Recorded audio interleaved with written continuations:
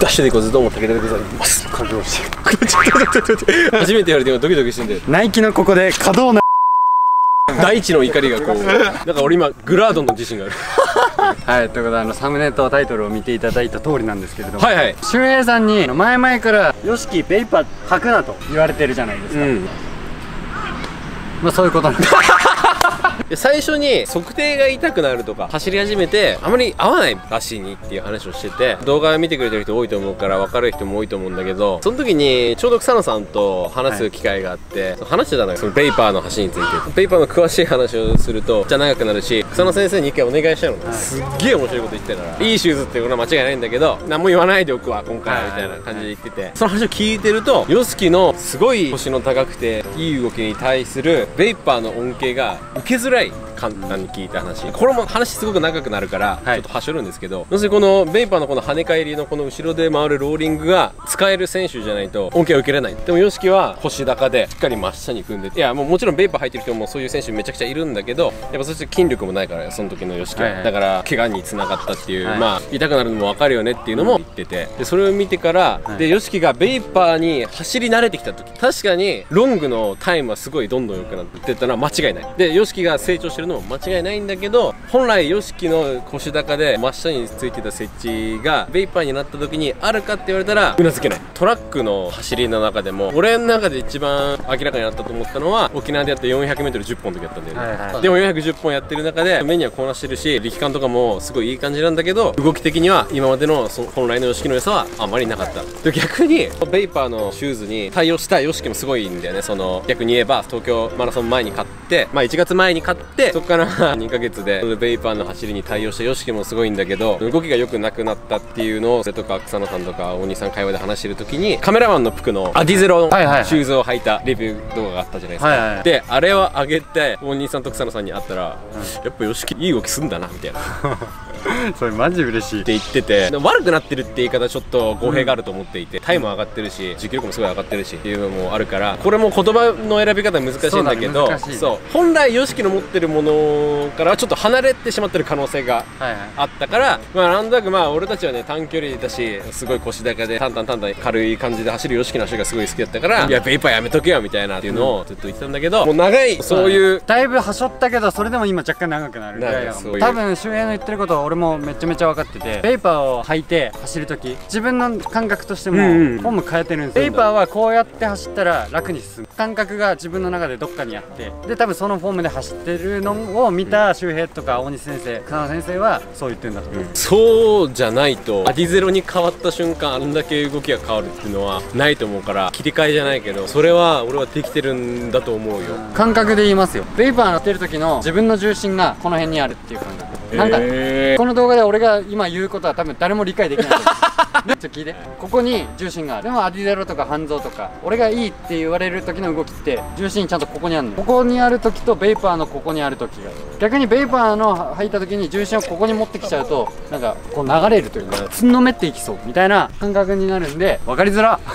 これがね天才のやつなんだよねこれ。よくいるんだよ短距離でも。小田さんみたいな。小沢もさ「あーなんか水平に出る」みたいな何言ってんのこの人みたいな。俺は小津みたいなんだよいやいやでもねやっぱねこういう能力高い人ってこういうなんかその感覚で自分の中で処理しきれるところがあるからまあ本当それってすごいなって思うしでもそういうところを言葉とか体現できる草野さんとかお兄さんはさらにすごいよねっていう思いはあるよね。いや天才だと思うよ。天才キースだと思うよ。ありがとうございます。うん。ある程度能力ある人だと3分54台出ませんから。で東洋にも推薦来ないから。はい。大丈夫です。心配しないでください。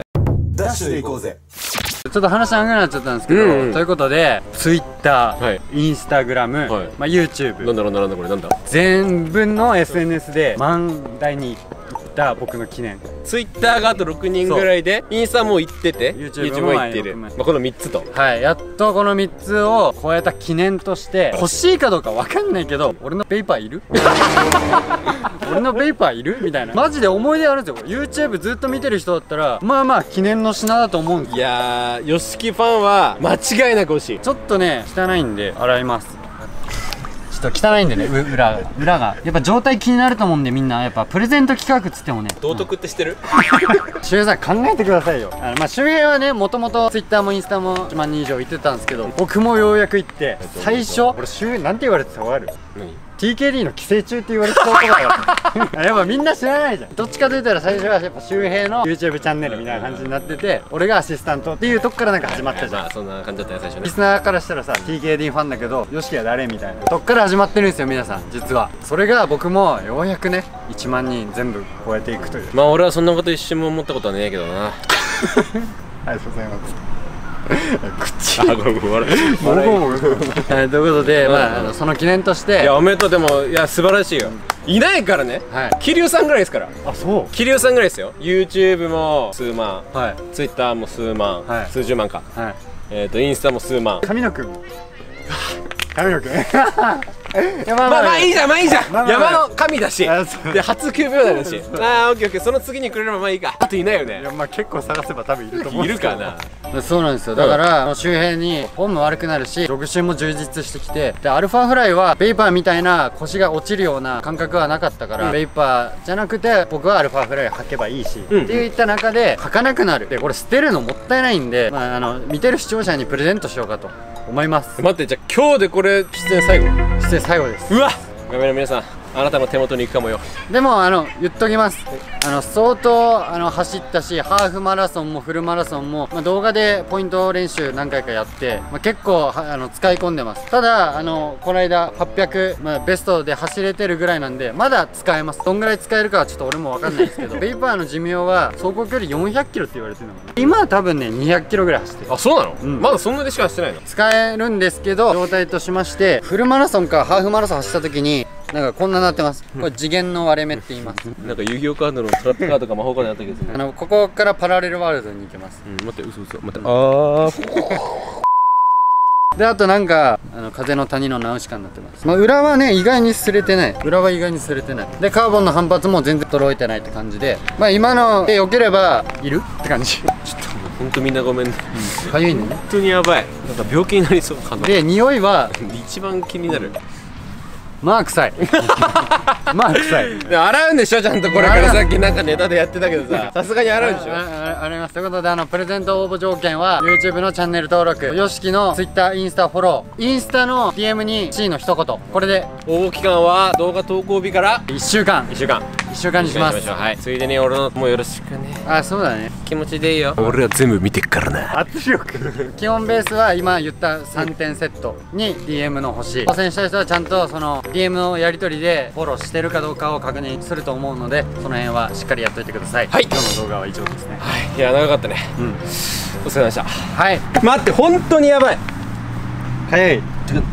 なんか早い10箇所ぐらいこのこのこのの角でか書いてあげようか。絶対やめて最後までご視聴ありがとうございました。それでは皆さんまたのご機会に。さようなら。